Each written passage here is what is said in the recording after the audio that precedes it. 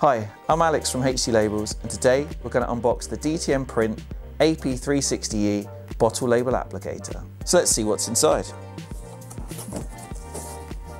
Oh actually, straight away, the first thing to notice. So inside this little sleeve is a registration document. So if you register your product, you'll get an extension, I think up to three years warranty on this particular machine. So it's a no-brainer really. So make sure you don't forget to do this. So just peel this back, there's a little QR code think you can scan, takes you straight to the page, or there's a web address in there. All the details are in there and explained. So let's look inside the box.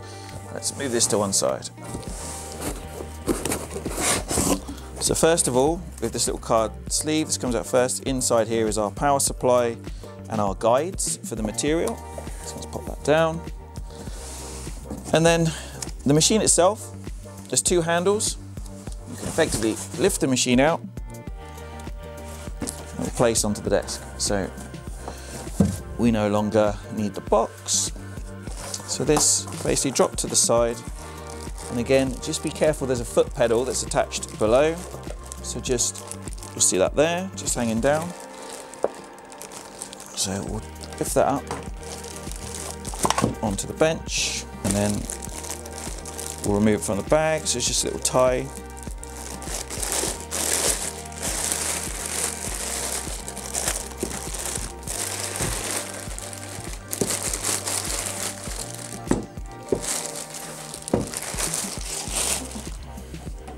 And there we have it.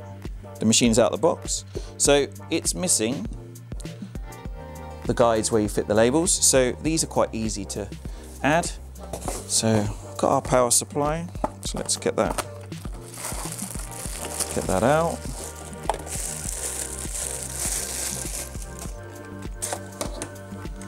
And in this instance, we have a UK power lead. So the beauty of this machine is really that it's probably the most simple label applicator out there. Um, there are no buttons other than go, oh, and I suppose the power button, but what we're going to do next is we'll just unwrap. So this is the bar that sits on the rear of the applicator.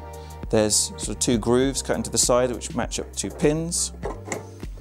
Plonks on the top and these are just magnetic, well, guides really. So that's the bar the label sit on, and then these guides hold the label roll in place. So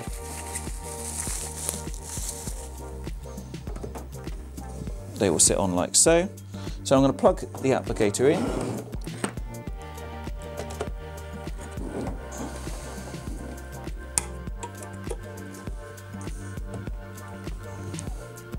and then we'll put the applicator on.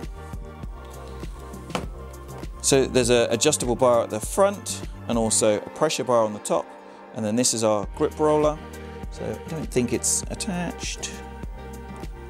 It's a lot easier from the front. Yeah, so this is all loose.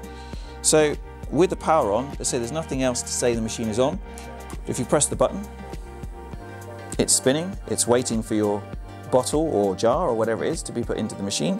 So yeah, really simple. That is the AP360 up and ready to roll. What'd that take? Two minutes, easy.